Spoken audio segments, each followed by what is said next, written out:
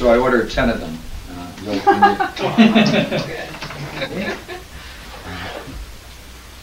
Um,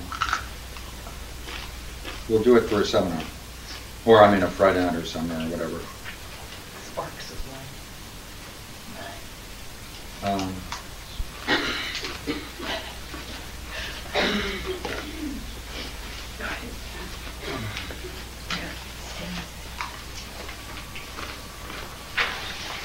Primordial experience.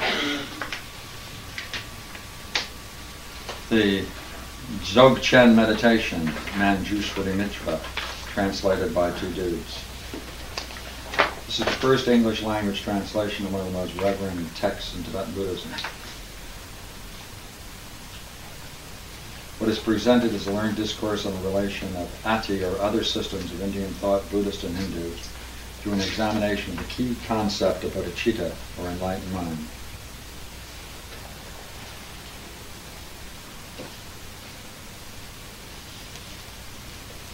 It sound good? I ordered 10 copies. I thought we'd put it up for voting later. That's exactly what you've done. Never tried to accept it. Ordered first and voted later. Who is, who is the translator of that? Two dudes. Namkhai Norbu and Kennard Lipman. Um, Uh,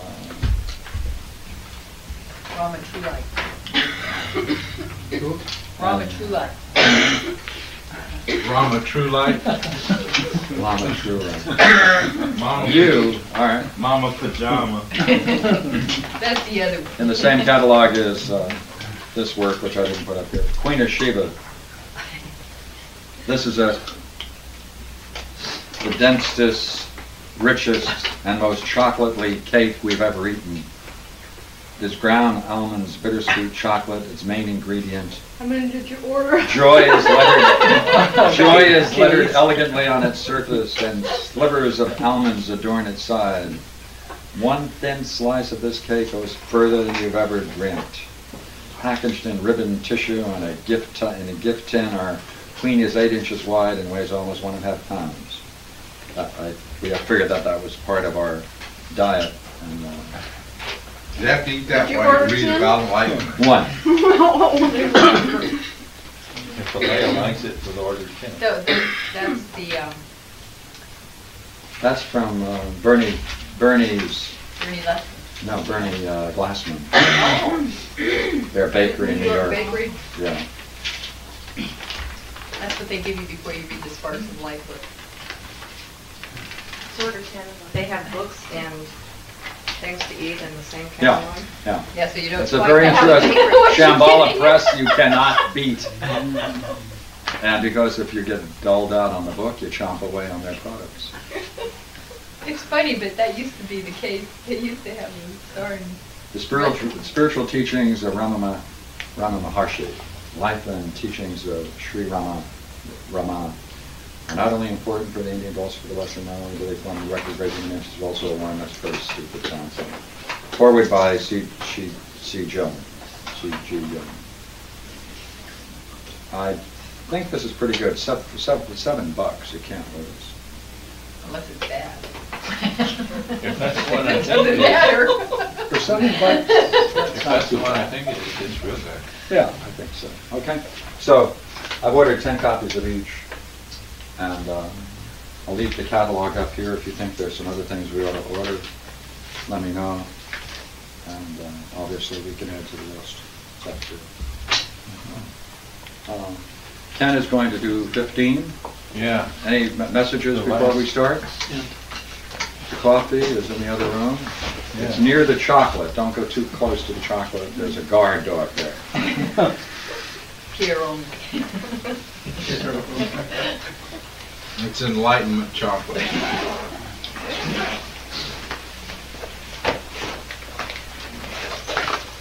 Tonight is a fitting night to talk about the subject of bribery. Bribery? Is a good subject. People have been coming to the door, pushing bribes to avoid tricks. Um, So 15 was the last of the series of three. Uh, 13, 14, 15. 13 had dealt with whether there are gods. 14 with whether the God's uh, providence extends to such insignificant things as us. And 15 will be if there are gods and their providence does concern us, can they nonetheless be bribed? Uh, Excuse me, is there an extra book?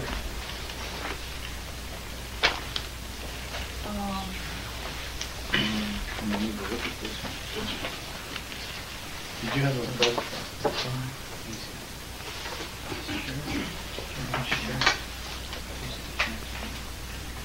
You can look on in this one now. I can share with him. You Sure. can need that. Now, we want to uh, start by reviewing a certain principle, a principle that's been going in, uh, might call it the principle of hierarchies. Uh, Whenever there are two levels, higher and a lower level, the higher is always the model, the lower the copy.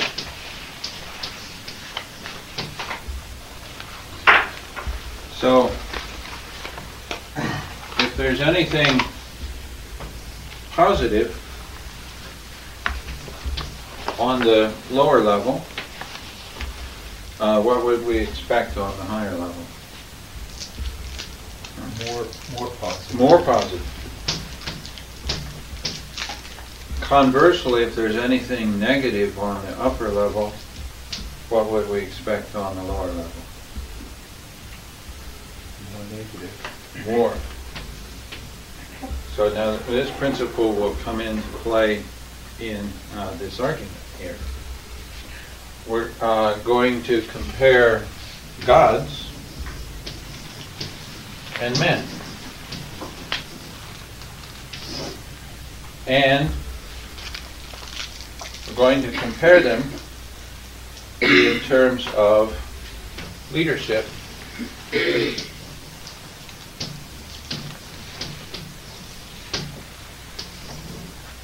and whether, uh, so we're going, this will bring in the questions of art.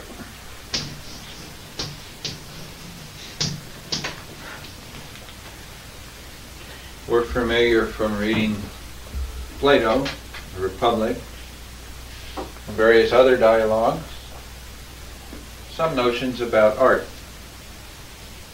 For instance, uh, the questions, uh, we'll be familiar with those questions about who benefits from the practice of an art, uh, the practitioner or the person it's practiced on. And so, reflections, there will be reflections on leadership and uh, art, and this principle about model and copy will come into play. Would you cite the principle again, please? That is, whatever positive is on the level of the copy will be more so positive uh, on the level of the model. Uh, Whatever negative on the level of the model will be more so on the level of the copy. Oh, why is that? Hmm? Why is that? This is, uh, for instance, uh, if anything is beautiful in this world, the source uh, of the beauty will be more beautiful than the beautiful Yeah, I thing. understand that that's what you're saying. I asked why that was. Why that was? And then you say the negative is the reverse, that there's more negative. in the copy and less in the model. Yeah. Does that, is that, is it easier to understand just following the positive? No, Do you have any problem with the positive also? I don't understand why you say that, but because you say the positive is double in the model and the negative is double in the copy, or more so, Mm-hmm. then that confuses me. Oh, is it the idea that the negative? Uh,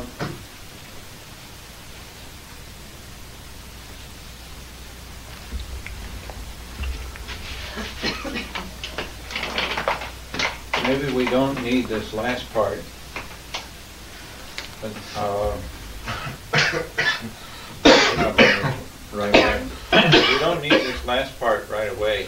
And when we come to it, maybe by that time, I can, uh, it'll come out of this. Uh, Do you agree that as we understand model and copy, that the model has the positive virtue all the more so? Or to say it another way, whatever is present secondarily is present primarily on the higher level. You agree with that? Okay. This other part, let's, let me hold it for a while, Okay. okay? Because, uh, um, I, I think we'll find it. If we don't find it, then I made something up.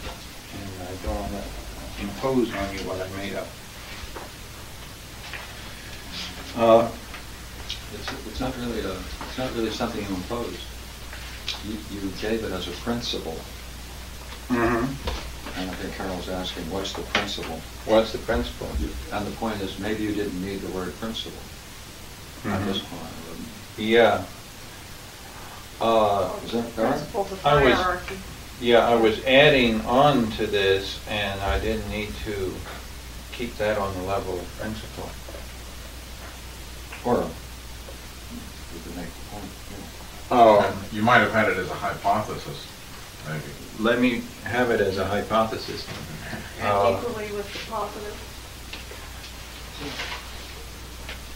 Um, I think there's reason with the positive to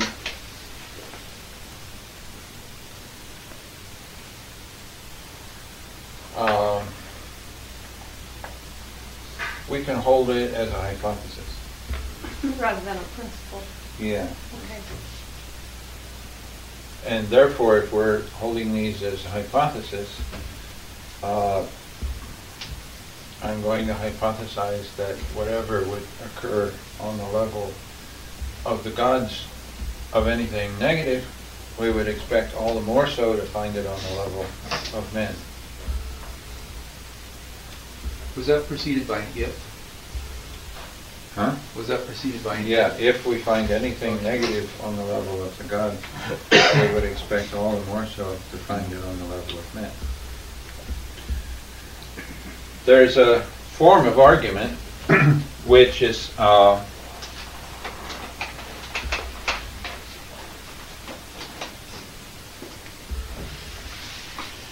uh,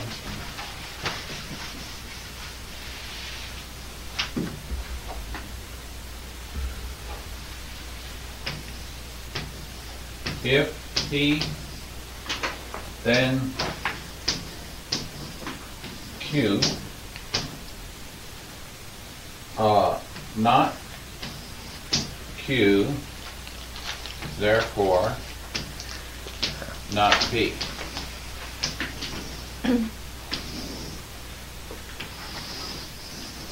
And this form of argument uh, is called the the denial of the consequent.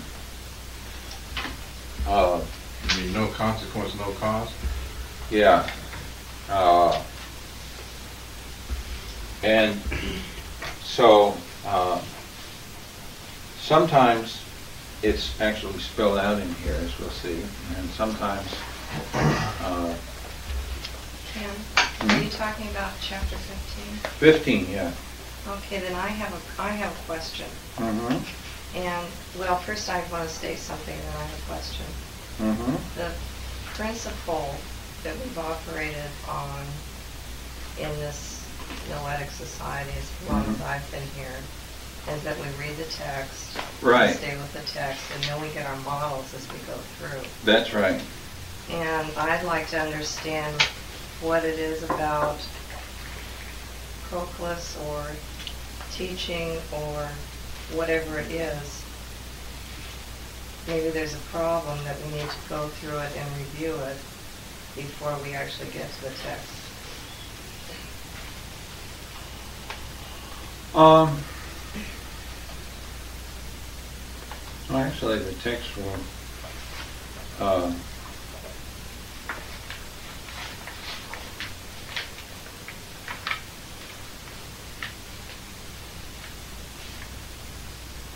the, uh,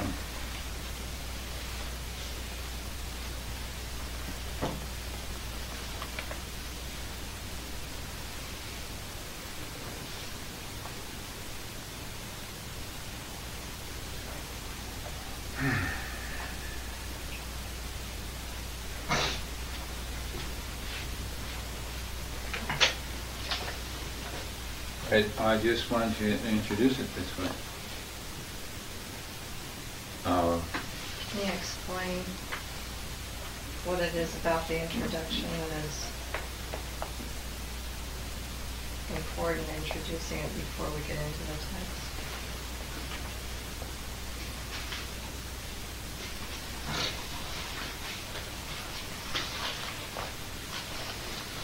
Mm.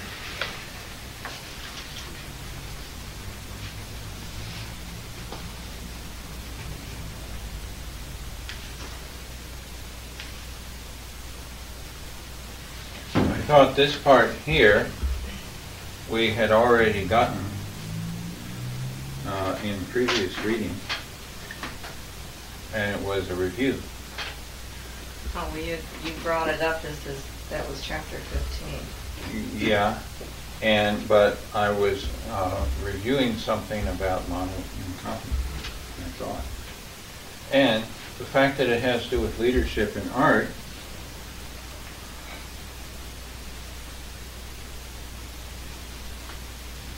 uh,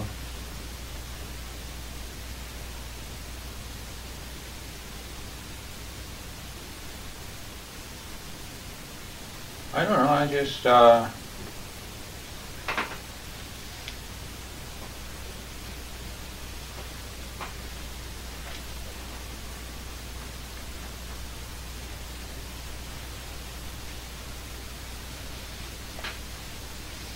I thought it would help.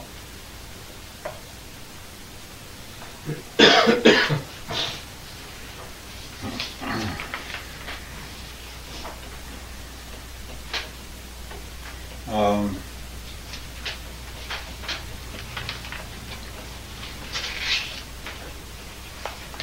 and putting up the kind of argument.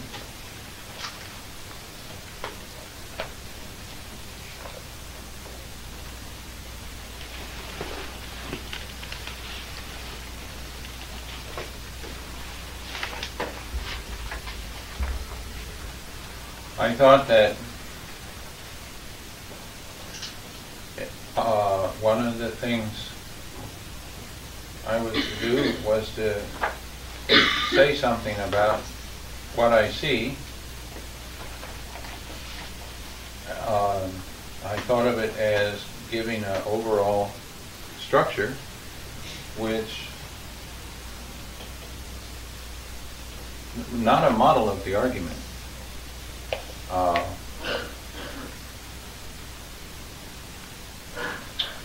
We see the overall picture if we read the text. yeah, So I'm going to erase it all off first.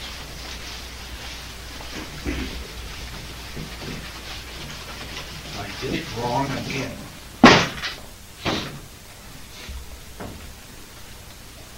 start reading.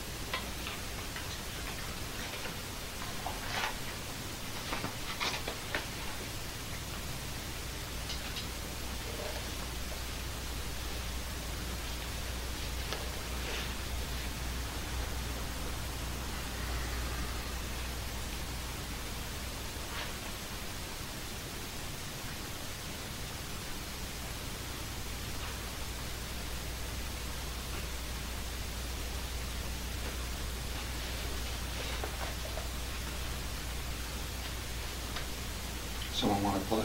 Mark, or you jump? The third problem after these we shall connect with the former, and survey how we are to assume the unpervertible in the gods, who perform all things according to justice, and who do not in the smallest degree subvert its boundary, or its undeviating rectitude, in their providential attention to all other things, and in mutations of human affairs.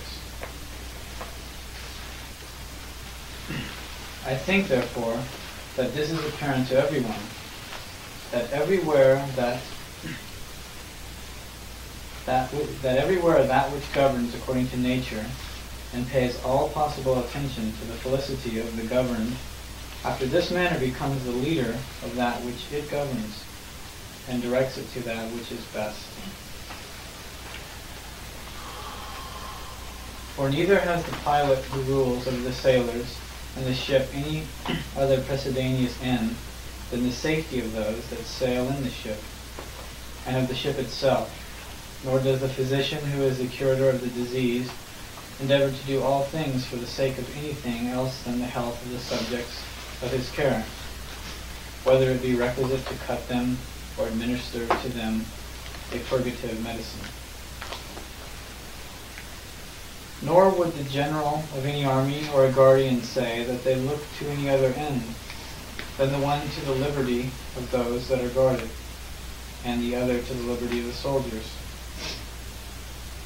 Nor will any other to whom it belongs to be the leader or curator, of certain persons endeavor to subvert the good of those that follow him, which it is his business to procure, and with a view to which he disposes in a becoming manner everything belonging to those whom he governs. If therefore we grant that the gods are the leaders of the whole of things, and that their providence extends to all things, since they are good and possess every virtue, how is it possible that they should neglect the felicity of the objects of their providential care? Or how can they be inferior to other leaders in the providence of subordinate natures? Since the gods indeed always look to that which is better, and establish this as the end of all their government, but other leaders overlook the good of men and embrace vice rather than virtue, in consequence of being perverted by the gifts of the depraved.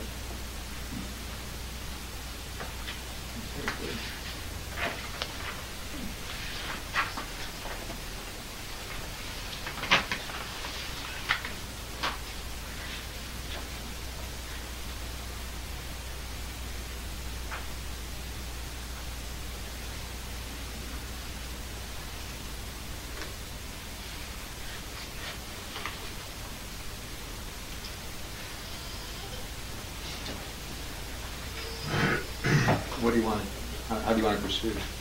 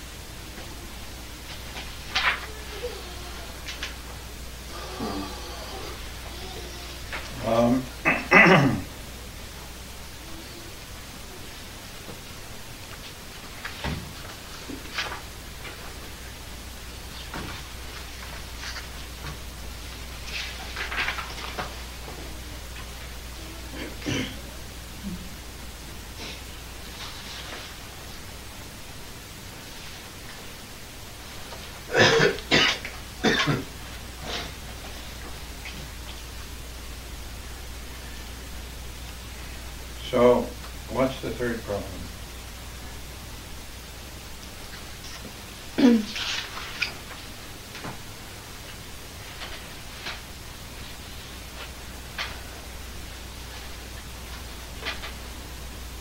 assuming the unpervertibility in the gun.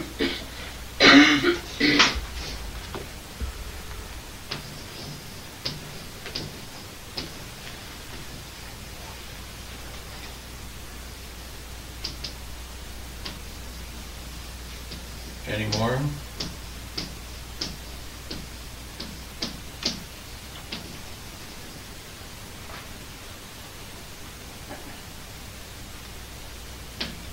Why do you say that's a problem? I don't understand that. Why that- Well, why can you assume that, Paul? How are we to assume it? Yeah.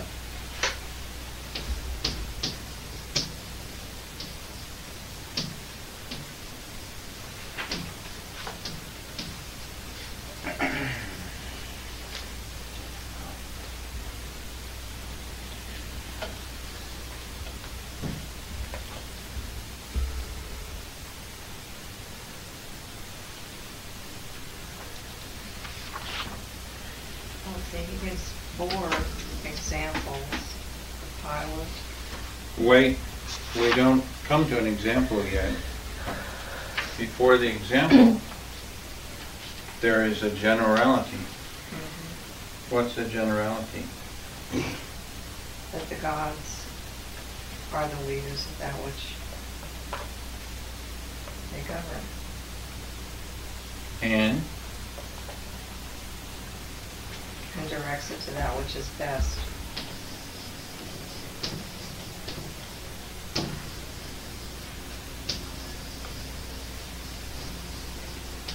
It governs according to nature.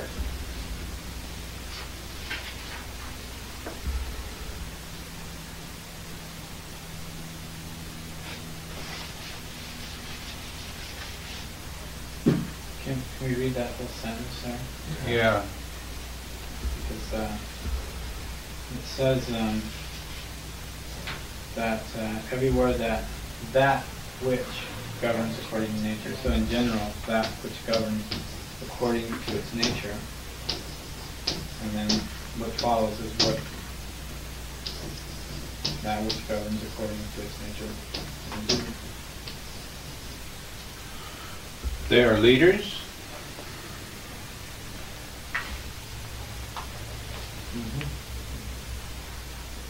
And they direct to the best.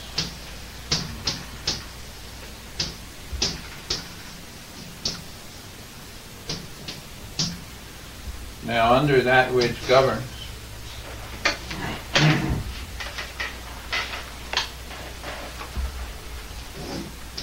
he first discusses classes of men. The pilot,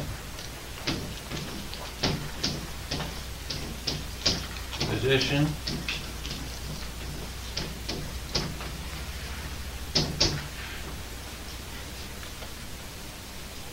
General. guardian.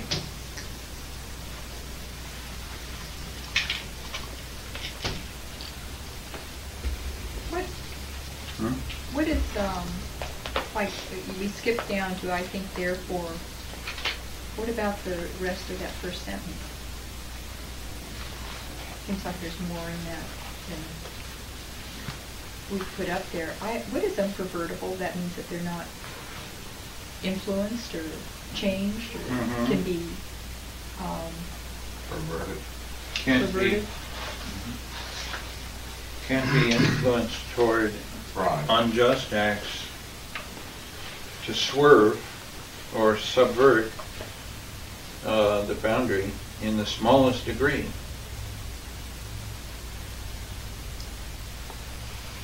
Subvert which, what boundary? Justice. Boundary of Justice justice. boundary? Okay.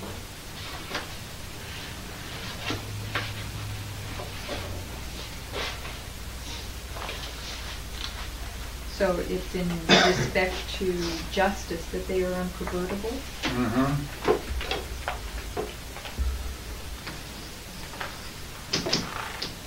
Both its, Pardon? both its. Right, did we read that? What's that? Both its goes to justice. subverts justice boundary, and, Recognition. yeah, It's going to be- Justice is Yes. down there. That would be its principle, wouldn't it?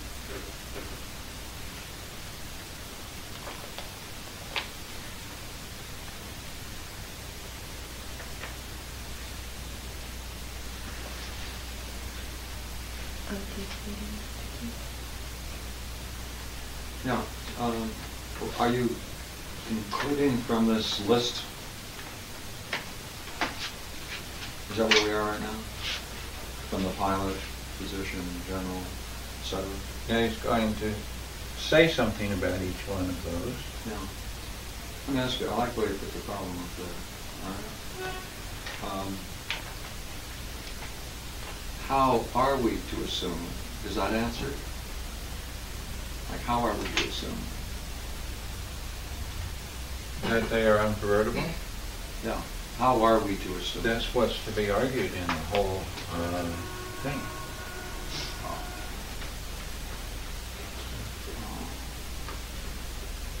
That's curious. because Yeah, but what does that mean? I mean, I, it's kind of hard for me to understand. How are we to assume it?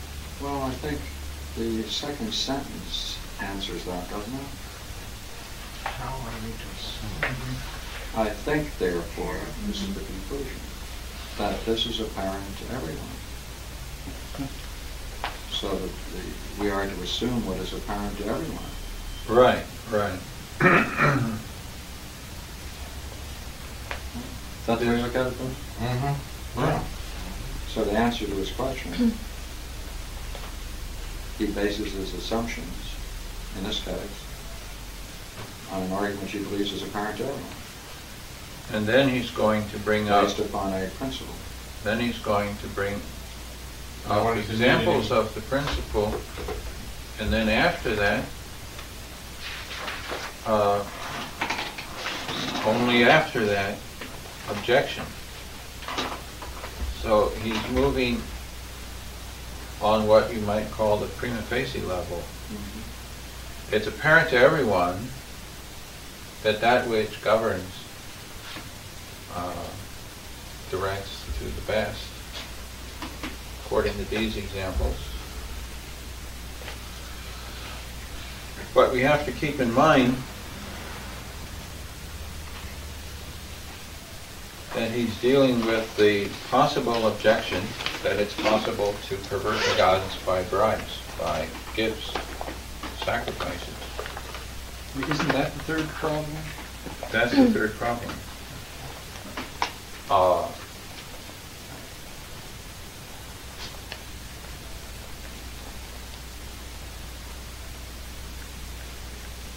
But that, that is how we're supposed to assume it. So, right there, he's made his, all his statements. Now, He's made his statement, and now he's what's he gonna- gonna do with the rest of the words? yeah? he's going to, uh, Take the negative? he's going to use this, this statement in his argument. Uh, We'll see how, um, he's going to construct some reductio ad absurdum arguments. Uh, Can you put it a little plainer? What's he doing with the rest of the words? In other words, he's really made the statement, he's given the problem, and he's told us how we're supposed to assume it. And therefore, he's really answered the question, hasn't he? I think how also includes by what right are we to assume? Not only in what way, but how can you assume that? Uh,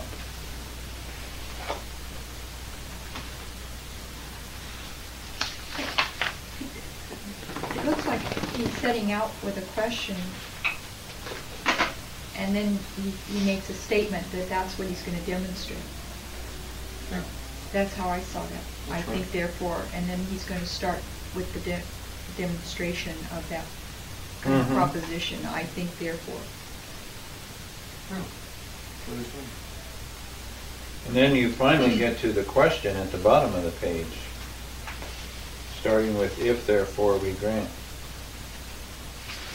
So the argument, so what follows should, should be arguments that would sub- demonstrate mm-hmm. that proposition. What he's done so far is So, to, yeah, he's made a statement, he's made a statement and he's said how. given examples in relation to men. I have a problem with this one little phrase here that says, after this manner becomes the leader of that which it governs. I don't understand That That which governs. After this manner becomes the leader. Uh, in the, by paying, all- by ruling according to nature, pays all possible attention to the felicity of the governed. That's the manner. What is becomes the leader? Uh, That which governs becomes the leader. That which it governs? No, that which governs. That's not what it says. That which governs according to nature becomes the leader of that which it governs. of that which it governs. That which governs becomes the leader of that which it governs.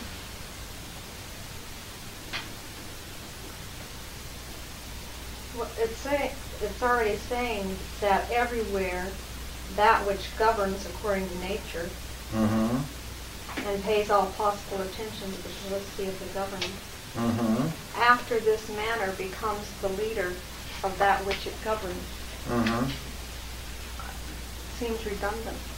Who becomes the leader of that which it governs? Who or It's- what? it's- Apparently, it's that which governs according to nature and pays Right. all possible mm-hmm. attention. That's right. It's not redundant because leaders, it's leading to direct to the best, that's like an additional action other than government. Govern and leadership. Okay. And then man, and you, it's the leader. And I didn't, I missed the quick answer, how you answered her about after this man, Well, Ruth pointed it out. to her. Ruth Ruth made a distinction between leader and that which governs as leader being something in addition to governing. Leading, Correct. leading being directing it to that which is best, which is over and beyond the, uh, role of Governorship. governor. So that which governs according to nature becomes the leader. Yeah, I can see that. But there's a certain manner in which this, after this manner, it- this manner It refers has to to, do that first. has to become governed according to nature. It work- becomes, it becomes the leader by governing in that way, in that manner. Mm-hmm. Okay, then you see, I presume that it goes down to the if and you continue that. Right. Right. Gina, uh, you dropped the ball. Well, so far, it seems like after this manner can go to something after with, Yeah, Gina. or it goes prior. Gina, you dropped the ball. I dropped the ball. Yeah, she made a very fine point, you dropped it. Okay. Which one? Gina has an experience, of course, in geometry. She's a geometrician. She said, hey, this is a, this is a geometrical statement. It proceeds as a geometry. Yeah. All right. Okay. If you do that, then he doesn't proceed just by examples, does he? He went to that second sentence and he said that's the statement of the proposition, not which to be proved, didn't he? Because of the use of the word everywhere. Right? Uh-huh. Then there's a series of examples. They're not merely a series of examples because there, there's an attempt to include everything, isn't there? That is to say, he's making a case that nothing is excluded, Mhm. then it's exhaustive. Mhm. Nor will any other, right, that's the one, that's the appeal to there's nothing, there's nothing that you can think of that's being excluded. Shouldn't be given that. If that's the case, then he's going from examples to exclusion, he's including everything, nothing is excluded. That's why the therefore has the force of a geometrical proposition, doesn't it? That's the conclusion, I suppose. This is a demonstration, all right? If therefore we grant, all right? Agree? Mm-hmm. Because if everything above can be asserted in that way, then that can follow, could, can as a conclusion. Yeah, it includes everything. And that therefore fits into that major piece of statement, which is that this is something that happens everywhere, therefore including in the realm of the gods.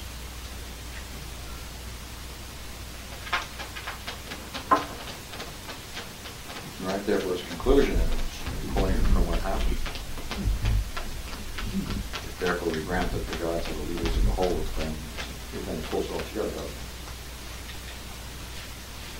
Uh,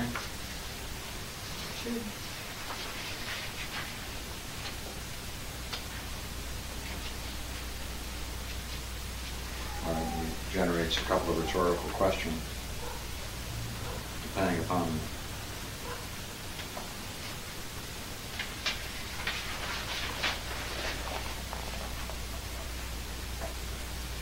conclusion, which is his next page. Is that the way you see it? Yeah. How about, way you it then?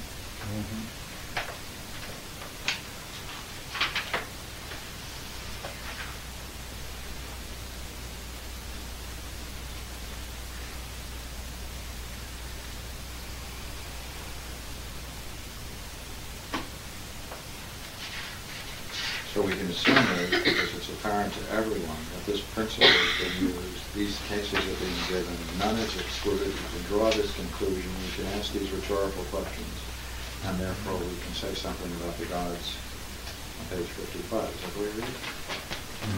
Yeah. And he's been saying that none of these would subvert the end of their art uh, for uh,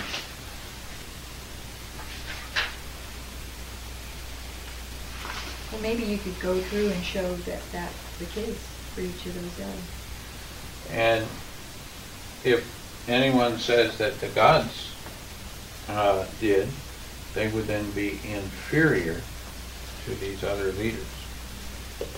And so the second rhetorical question is, how can they be inferior to other leaders in their providence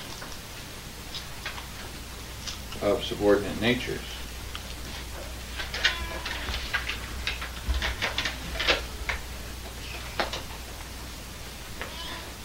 Yeah, that are in their care. Mm-hmm.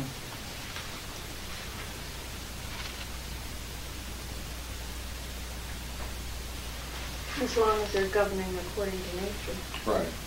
Mm-hmm. and paying all its Mhm. possible attention to the felicity of the governed Right. and directing to what is best.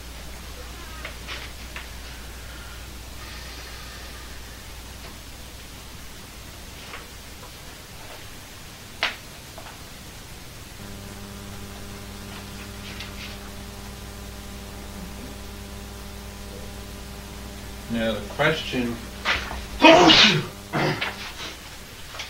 how can they be inferior?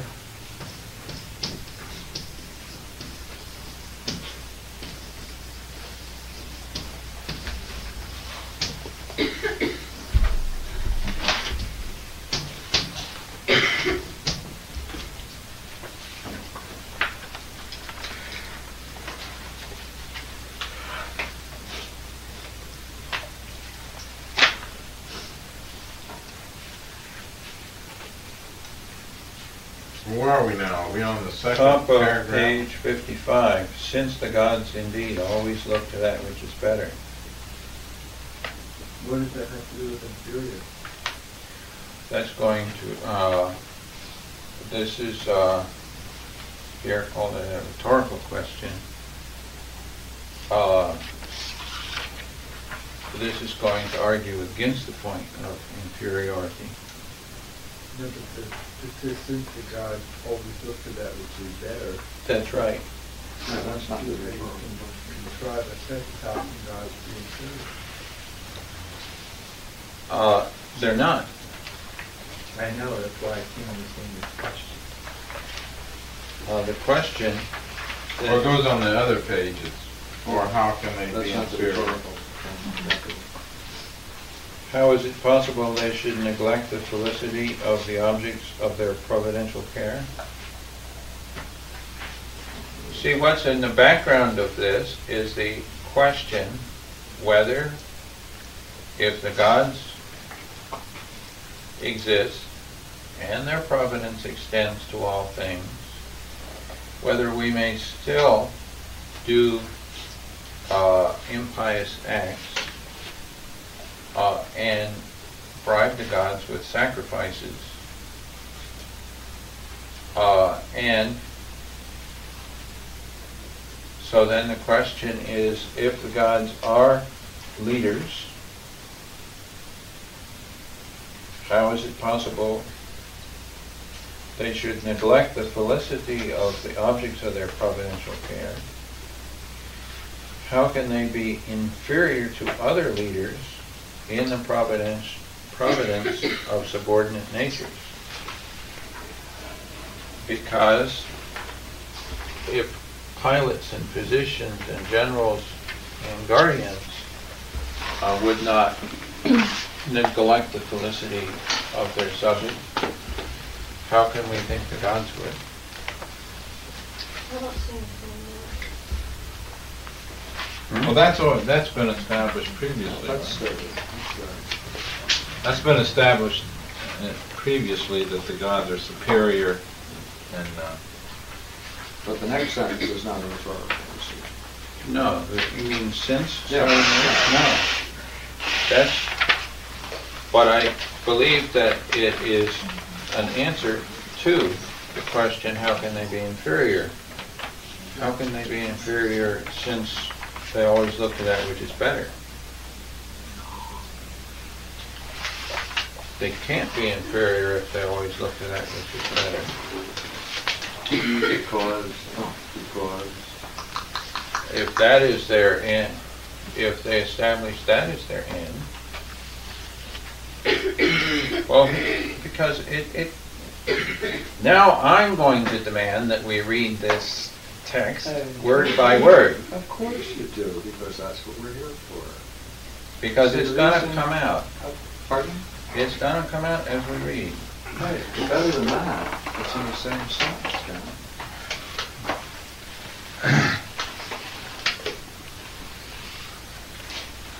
I'm sorry, I was a sentence ahead of you. Now I see where you got your question. I wasn't trying to put you on the spot, but that answers the question that you oh. raised, really, the next sentence. Yeah, Okay. Mm-hmm. it's in the next, it's where the sentence, As follows, well, they, how can they be inferior to, well, since they're always look for that which is better, and establish this as an end of all their government, but other leaders overlook the good of men and embrace vice rather than virtue, consequently being perverted by the gift of due praise. just stay in that sentence. Mm-hmm.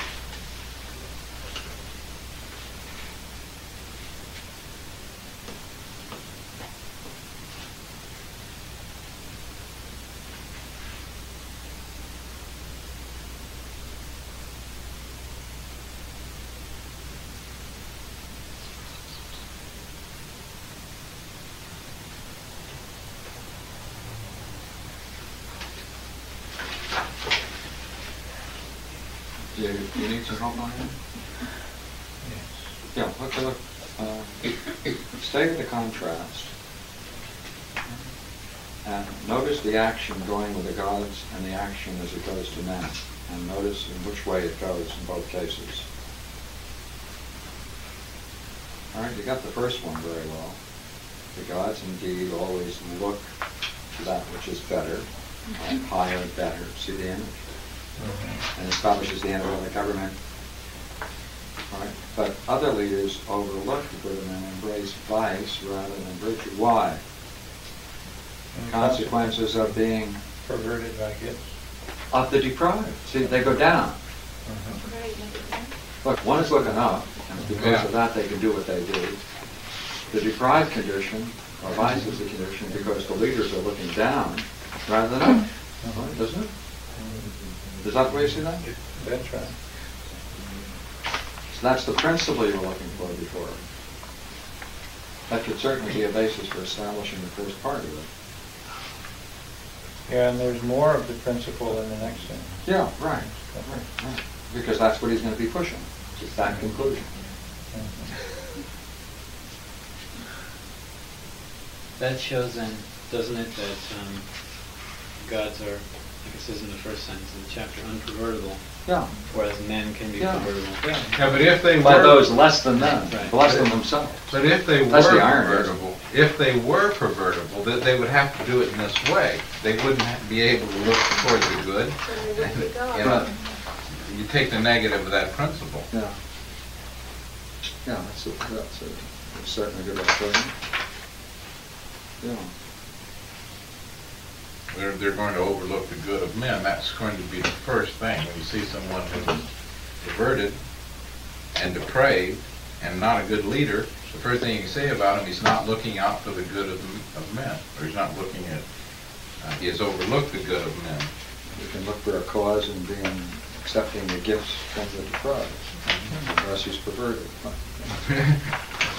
And inferior.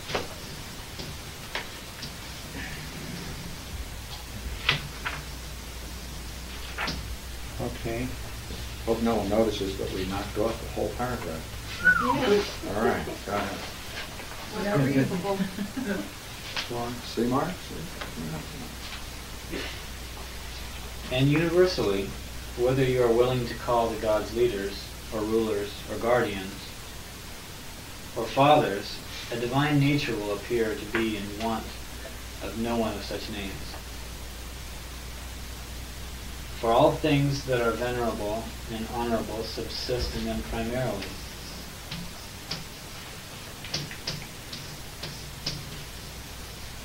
And on this account indeed, here also some things are naturally more venerable and honorable than others, because they exhibit an ultimate resemblance of the gods.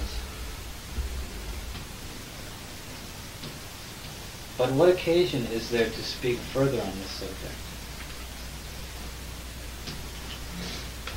For I think that we hear from those who are wise in divine concerns, paternal, guardian, ruling, and Paeonian powers. Uh, I wrote that The Paeonian is the position. Okay. comes from the position of the gods, Paeon. Okay. For I think that I thought that was a hymn to Apollo. They got another term? Well, there are paeans which are called hymns, and Yeah. Apollo is involved in it. But there was a physician named Paeon who in the Iliad, in uh, Book 5, cures Hades, who was wounded with an arrow. And also Apollo is involved in it. And Paeonian means healing, healing powers.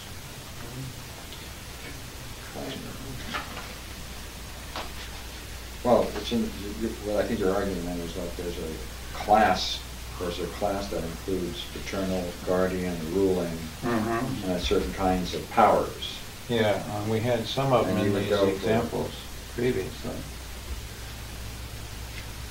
Curious word there, isn't it? Yeah, okay, sure. Well, yeah, that's one of Taylor's, but it's particularly apt in this uh, case because it's the position of the gods.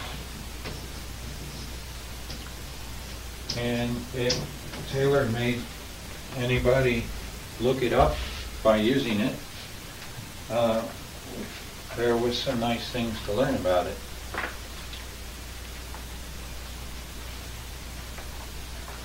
It is a curious word, though. Do you have more stuff by chance in your back pocket that you're not giving out? No, All but right, okay. it's in book uh, five of the Iliad. Okay, Mark? Okay, I'll repeat that. But what but what occasion is there to speak further on this subject? For I think that we hear from those who are wise in divine concerns, paternal, guardian, ruling, and Paeonian power celebrated. How is it possible, therefore, that the images of the gods, which subsist according to nature, regarding the end which is adapted to them, should providentially attend to the order of the things which they govern, but that the gods themselves, with whom there is the whole of good, true and real virtue, and the blameless life, should not direct their government to the virtue and vice of men.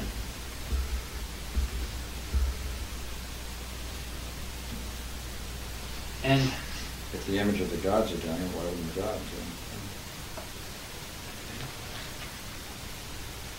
And how can it be admitted on this supposition that they exhibit virtue victorious in the universe and vice vanquished?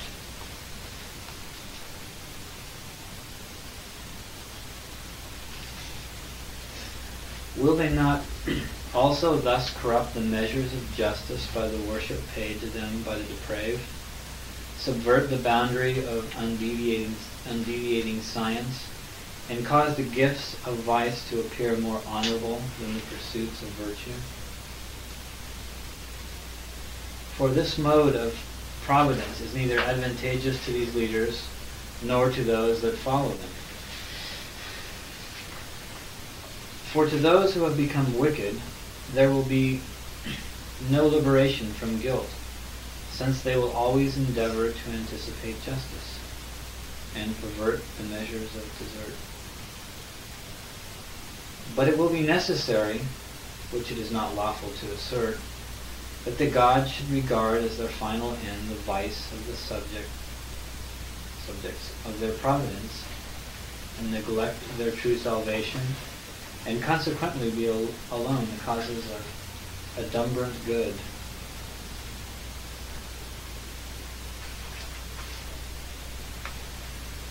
This- Go ahead. Go on. Okay. Next one. This universe also, and the whole world, will be filled with disorder and incurable perturbation, depravity remaining in it, and being replete with the discord which exists in badly governed cities. Well, Some people would say that's around already. You know, this isn't being governed by nature. Yeah. Are you sure that there's something good governing us? Man, What is if? Yeah, we want the, ar- we want the other argument. Yeah. Times have changed. Yeah, right. I mean, if That's what we're it being, was. if we're being governed by the gods, what would it be like without them, right?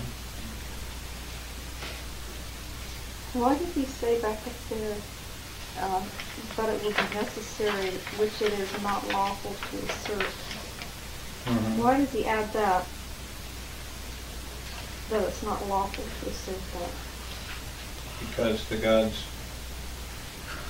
uh, what is lawful to assert is that the gods always look to that which is better and establish this as an end. Well,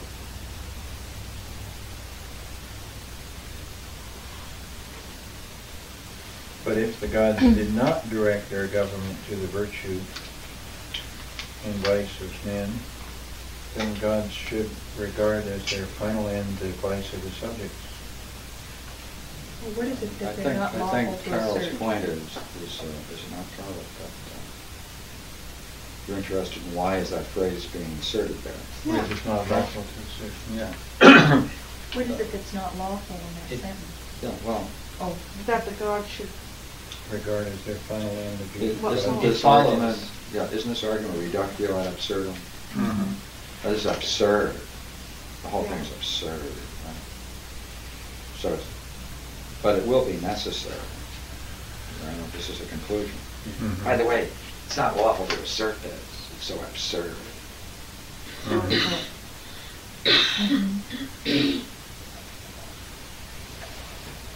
So he's saying, is he not, that given what, given the above, it would be necessary to assert it, though it wouldn't Right. be lawful. Mhm. They would have to assume It's the logically providence of the necessary, Yeah. but it's abhorrent to it. Right.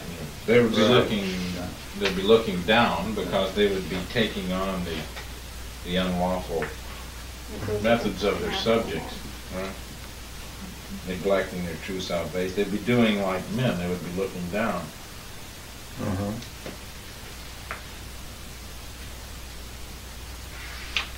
Also among religious uh, people, there is a fear of saying things that is false about the God. And uh, if you're going to say anything, even if it's something that would necessarily follow like this, put this disclaimer in there, it is not lawful to assert this.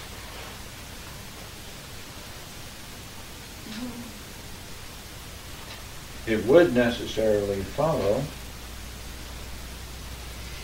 that's, uh, if the gods should not direct their government to the virtue and vice of men,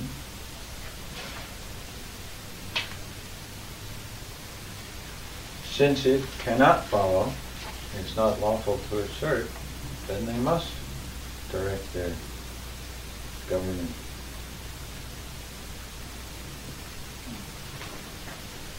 That-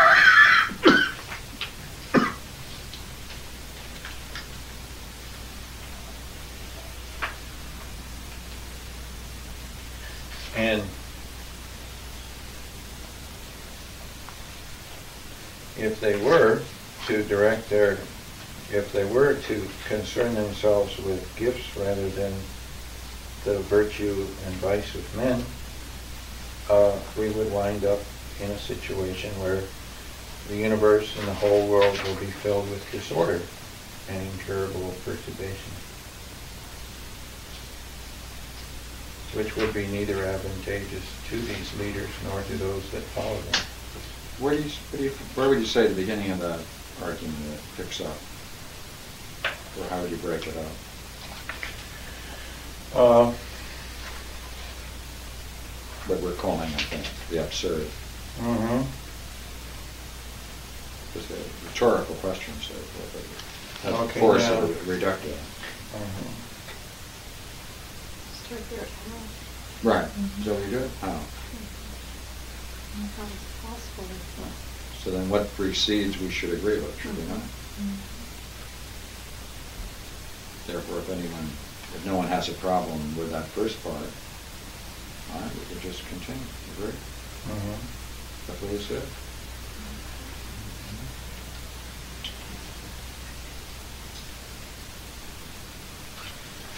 Isn't the world filled with disorder?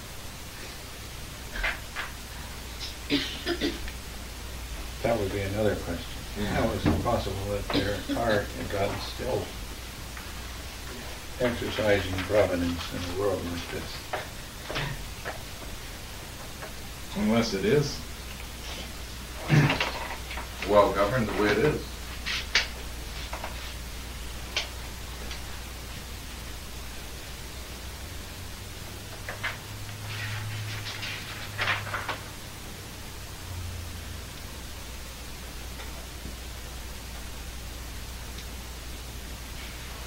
So was that clear? Do you want to go over it more? I don't know, just, I keep, just to, Is that, the question that's being asked is, are any Clear. problem starting on the word and universally on page fifty-five down to the question that starts how?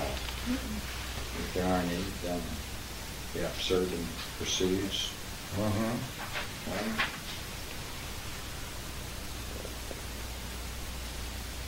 The last sentence is a little confusing to me. It says, So it's not perfectly impossible that parts should be governed according to nature That's a question. and a greater degree than whole. Humans. So is it not, so, though, Is it not? is it not perfectly impossible that parts should be governed according to nature in a greater degree than wholes, human than divine concern, in images than primary causes? Is that not impossible? Yeah, we're getting the copy before the model. Yeah. It's so impossible, it's perfectly impossible. Mhm.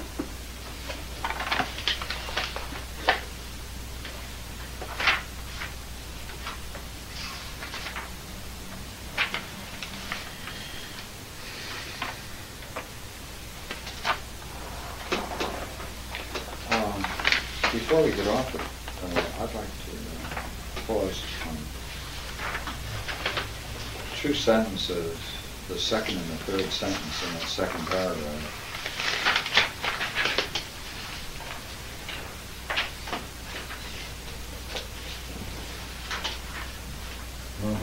Because it's, uh, it includes both this idea of the gods and the consequences of it. Right? For all things that are venerable and honorable subsist in them, primarily sometimes uses the word primitively. Right here. Since, since all that's venerable and honorable subsists in the gods primitively or primarily, then there certainly will not appear to be in want for any such names as, as were used a moment ago. The next sentence, I think, is, is extremely interesting. And on this account, given that, right, indeed, you know what, there's some things that are going to, uh, naturally, and uh, more venerable and honorable than others, that's what they're gonna be, because they exhibit an ultimate resemblance to the gods. Therefore, that order is scalable, that's a ranking, isn't it? Mm-hmm. There are also some things are naturally more venerable and honorable than others, that's ranking. And the reason they can be ranked is because they exhibit an ultimate resemblance to the gods who themselves contain those things Primarily. primarily or primitively, yeah. When he says here also, the here refers to, Realm of men.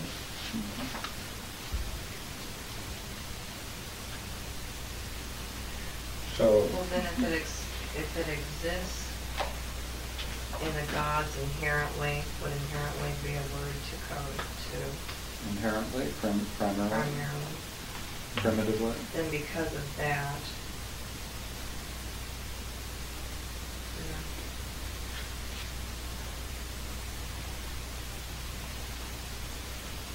Well, the, the gods are the models and men are copies. Right.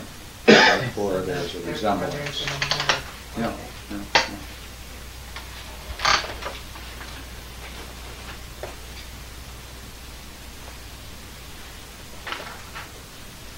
My God, I guess we can go in the last paragraph. yeah.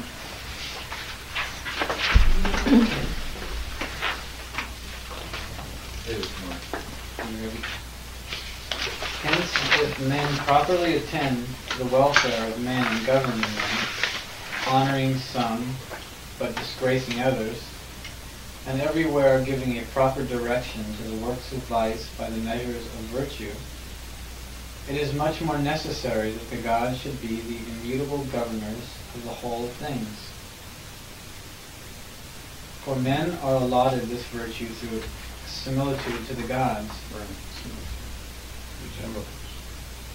But if we acknowledge that men who corrupt the safety and well-being of those whom they govern imitate in a greater degree the providence of the gods, we shall ignorantly, at one and the same time, entirely subvert the truth concerning the gods and the transcendency of virtue. Right. Yeah, Keep going. For this, for this, I think, is evident to everyone, that what is more similar to the gods is more happy than those things that are deprived of them, through dissimilitude and diversity.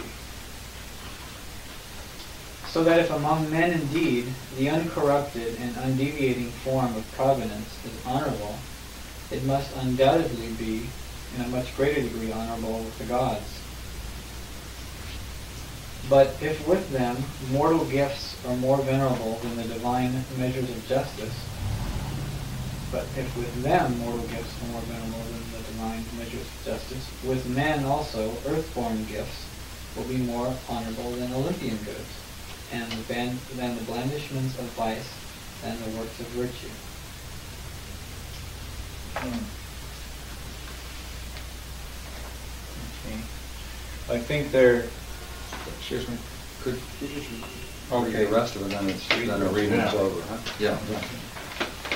With a view, therefore, to the most perfect felicity, Plato in the Laws delivers to us through these demonstrations the, hypar- the hyparxis of the gods, their providential care extending to all things, and their immutable energy, which things indeed are common to all the gods, but are most principal and first according to nature in the doctrines pertaining to them. For this triad appears to be, for this triad appears to pervade as far as to the most partial natures in the divine orders, originating supernally from the occult genera of the gods.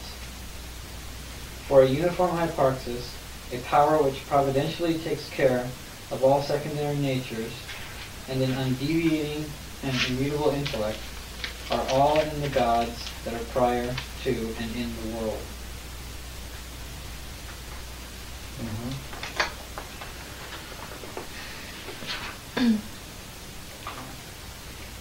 This, uh, but if with them mortal gifts are more venerable than the divine measure of justice, with men also earthborn gifts will be more honorable than Olympian goods. I think we then have to uh, supply, but men, insofar as they are practicing these arts, do not uh, honor uh, this way. So gods do not. Um, he probably felt by the time he got to that point he didn't need to grind it out. So, um,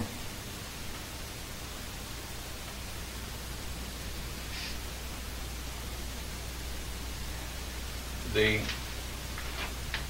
13, 14, and 15 had set out to show uh, in relation to the gods that there are gods, that their providence extends to everything and not just the great things, and that they are unpervertible.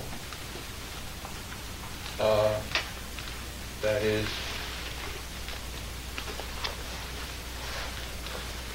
they will not subvert the good of their subjects.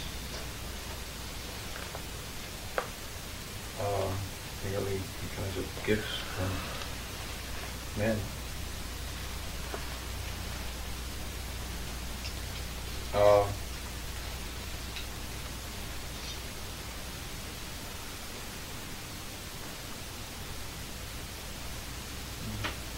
Are, are there any about this last one, fifteen?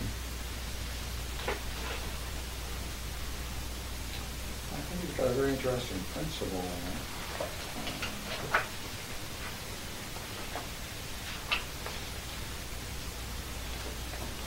Which of course is evident to everyone.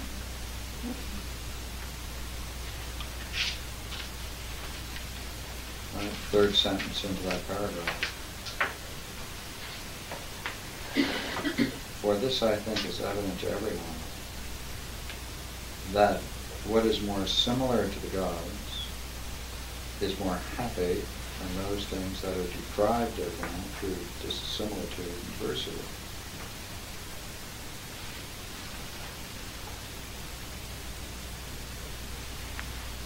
He's got that range. The more you resemble the gods, the closer you are in philosophy. The more you proceed down from them, the more you're in disunity. And That's unhappy. standard. Yeah, and unhappy. Yeah, and not happiness goes along with it. And uh, to the degree that you're honorable, must be undoubtedly being a more, a much greater degree honorable with the gods.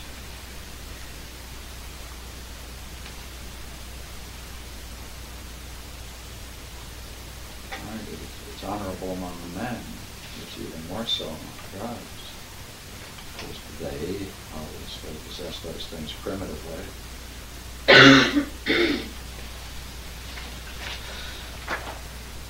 Mhm.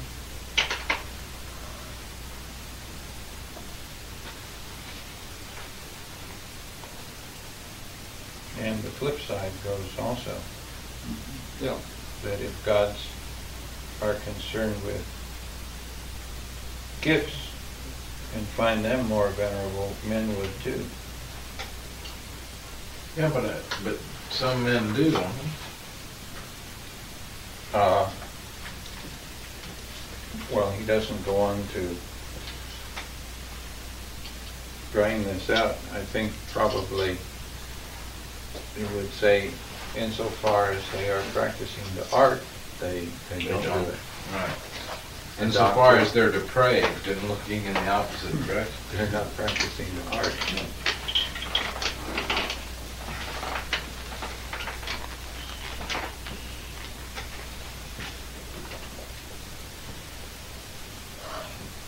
Well, the uh, last couple of sentences from Plato on, Mhm.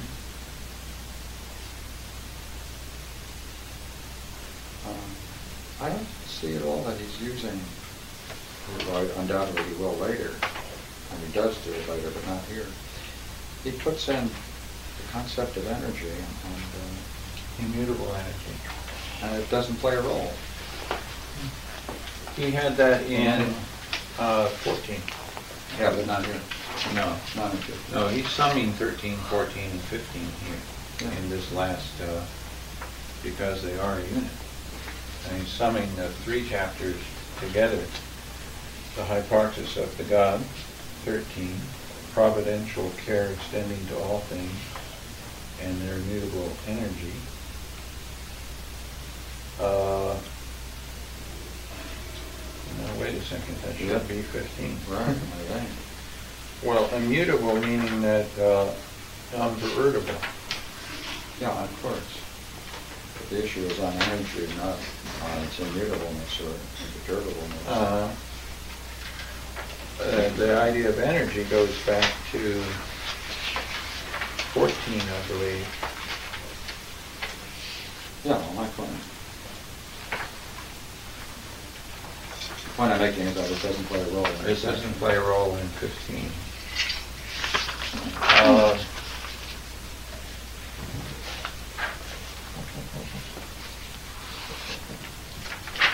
Well, let's see, what is that first?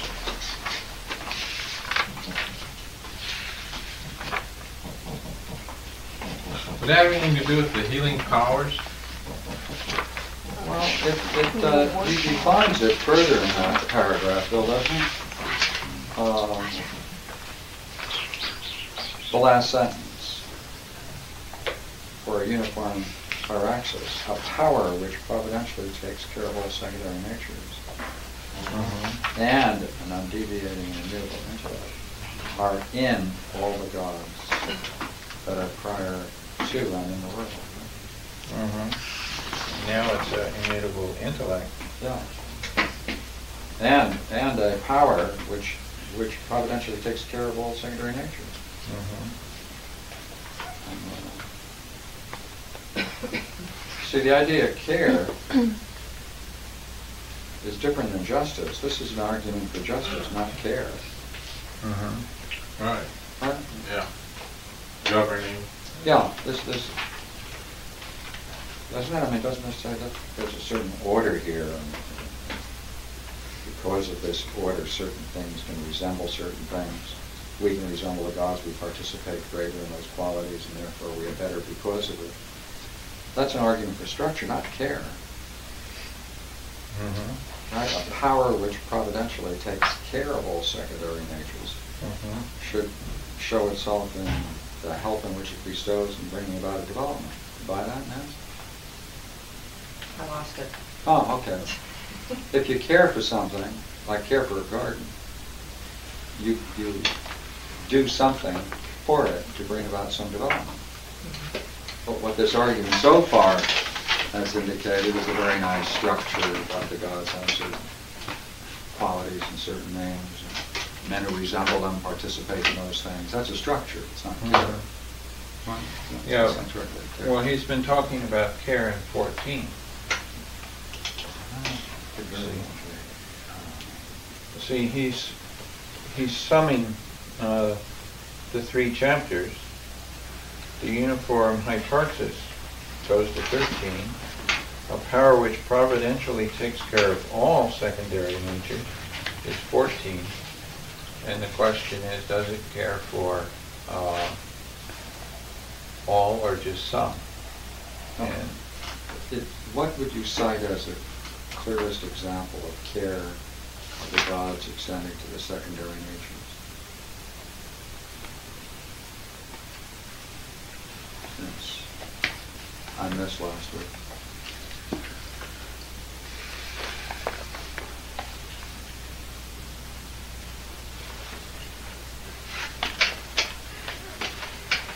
That's a good question.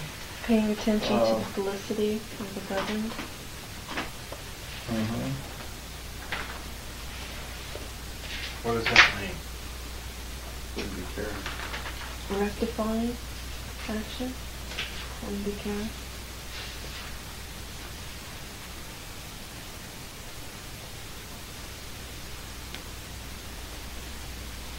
If we stayed in this chapter, wouldn't it be governing, What, the governing what they do and being leaders? Takes care of all secondary natures. Isn't that still, wouldn't that be a consequence of caring something that might come after it, but not? Hmm. well, in the second it's one of sentence, the in the second sentence, we have a promise. Parents to everyone, that everywhere, that which governs according to nature pays all possible attention to the felicity of the governed, and this matter becomes the leader of that which is governed, and directs it to that which is best. Mhm. Mhm. That's care. Yeah. It's gotta get better. That's care. It directs it to that which is is best. That's Oh. care, isn't it? Is that care? Isn't that care? Not just directing, but it would have to also generate a rectification. I like that. Generate Rectification. rectification. It would have to make just out of what is unjust. Isn't that making it better? Oh, it's doing more than just directing it towards. Oh, you mean it has to get in there and do the work? Yeah. What, maybe that's not the way. You know, as a manager, you may not do the work, but you direct someone else, and they do the work, Well, or leader. Maybe directing is doing the work. I don't know. And you could say that each of these examples of these leaders is an example of care. Yeah, that's true. Pilot. Does that extend to the gods though? That uh, insofar as they are said to be leaders and they exercise healing powers and paternal powers, guardians of You realize you ignored the point. Does it extend to the gods? I said, yes, it does. Okay. Um, See, that's where the, that's where the rhetorical question comes from. How is it possible that they should neglect the fel- felicity of the objects of their providential care? Uh-huh. Well, it puts it in a rhetorical form because there's any argument. Uh-huh.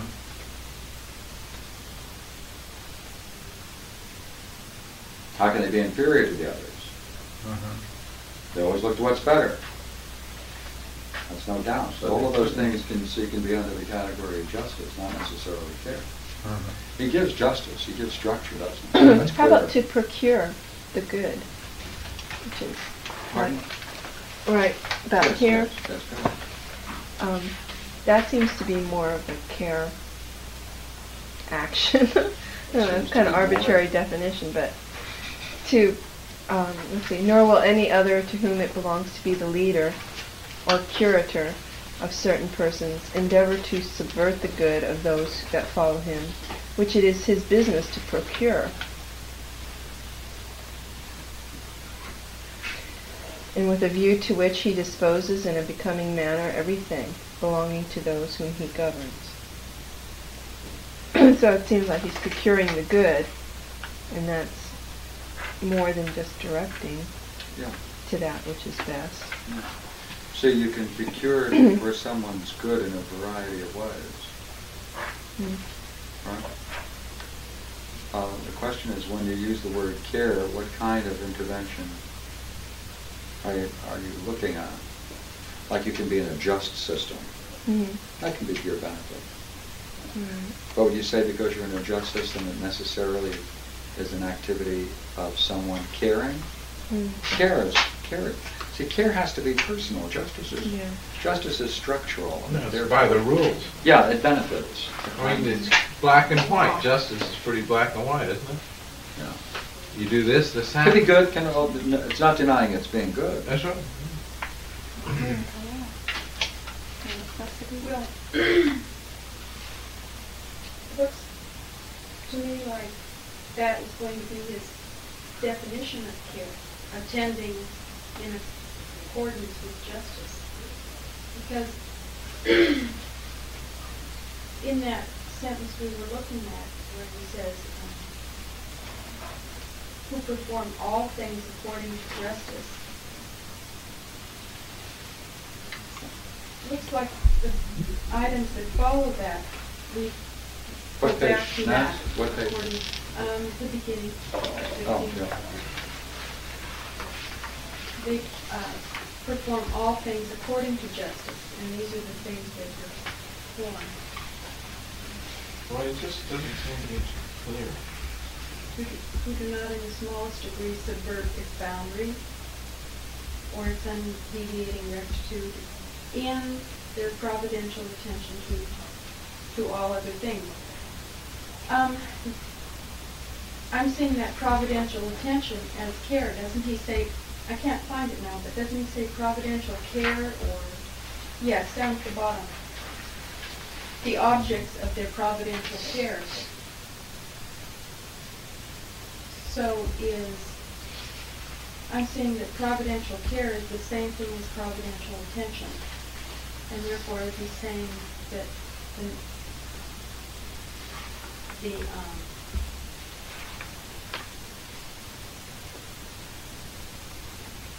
the way, the definition of caring is Mhm. going to be according, by guiding, acco- um, performing according to justice. Providential, Mm-hmm. therefore it's not particular. Well, Yeah, see, yeah. yeah, I, I, I, I think you're quite right. mhm. That's, So, but he hasn't stated any different anyway. It's not too clear that. yeah. Um, he means it some other way. He's not saying it. This whole idea of uh, providence is a function of the gods, isn't it? Right? Yeah, it's before knowledge. Before, before. Intellect. Before nous, yeah.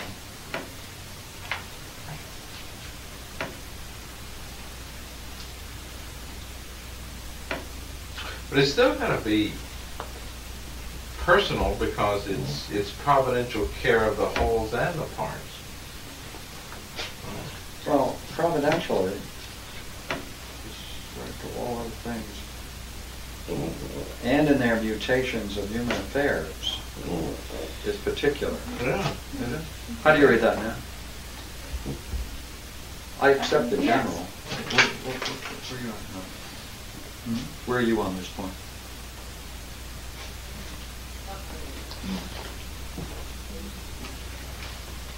Well, it's a central, kind of central theme. How, how do you see that expression functioning? Because I'll- certainly providential care is there.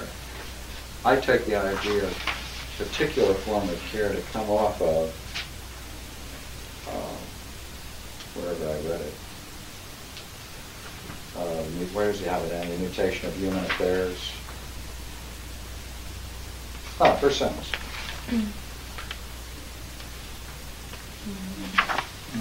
Oh, the smallest degree. Yeah. There's one. Yeah, And in the mutations of in human their affairs. providential attention to all other things,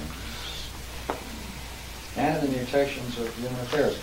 Uh, Well, I- the only point I think I'm making here is that, that I would expect, I would expect to see that care even on the smallest level to be built into the argument. And I do see the providential or the structure of providence there.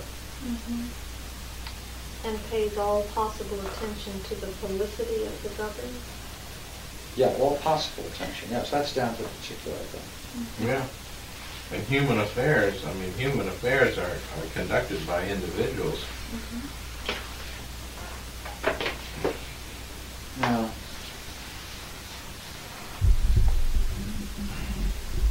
First, I think perhaps someone should argue that, that if you do have providential care and in general, you don't have to worry about it manifesting itself in and particular. Paul, why don't you do that and say? Because it's dreadful automatic? conclusion. Oh, come on. I mean, it's automatic and, just- and it happens, and if you say one, you say the other? Maybe you can say that. If the, if, If you say Well- in general, it if the- automatically Well, it would have to If be- if the radiant sunlight brings about, under certain conditions, growth and nurture and development of a whole variety, to a whole variety of living things, you don't have to therefore demonstrate its uniqueness to a particular plant. That's what you should, that's why you should be writing, Dan. I shouldn't have to do your work. That I think that that's in a way true, but then in this uh, at the bottom of 55 it says, "But it will be necessary, uh, which is not lawful to assert, that the gods should regard as their final end the vice of the subjects of their providence, neglect their true salvation, and consequently be alone uh, the causes of adumbrant good." But if this speaks of the subjects within the providence, um, both experiencing vice and uh, the lack of vice, and a need for true salvation, that's, that's within the providence. That the need is. So, on a particular or individual level, there must be some additional need for care. You following me? I sure do, you just turned that sentence around. I did? Yes, you sure did. Ass backwards? It didn't give us not being denied, you switched it around. Bill, what do you think? Is that what happened just then? Mhm. what did I do? You should tell us, not ask him what you I know. It's the negative, see? That's the negative. You turned And you're playing with the negative. Okay, because it's not lawful, you mean? That you can't say that that's the case? At least that one point. Oh. The rest You can make in the same statement. All right. Uh, Well, that was fun. Uh, Did Mark leave? Okay. He said he got a list of things or was getting a list of chapters from Rob on where to go in Proclus, uh, from Rod on the symposium. Uh, Rod on the Proclus, excuse me. Please look this over, catalog. You see the, uh, when we get the books, we're going to go on those three books, Rama Maharshi and uh, the Hasidic, the Hasidic work. Oh, And the Hasidic Tibetan has book. something to do with Jewish, is that it? Yeah, yeah, Okay. yeah. I knew that word was familiar and it just flashed on me. but- Yeah. Okay. That's a close look at the counseling techniques of the Hasidic masters, dream interpretation, shock, problem solving, and the description of spiritual exercises that unlock the door Oh boy, of the want mind. one. That's all for nine dollars and ninety-five cents, hundred and eighty-seven pages. Takes a couple Unlocks of the weeks for us to of get the there. So after this, we're going there, going to Rama Maharshi, and uh, the other one, which is uh, What's the the Tibetan. Rama We're gonna have, Maharshi uh, book? Hmm? The Seminar. Rama Maharshi book? Uh, It's the work on Rama Maharshi, teachings of Rama Maharshi. When Are we're you- gonna have what- a seminar. no, what do you on mean the Plato. I just know the- the name of the book. I think it's called the teaching of Rama Maharshi. Ramana Maharshi. Which I'll check right now.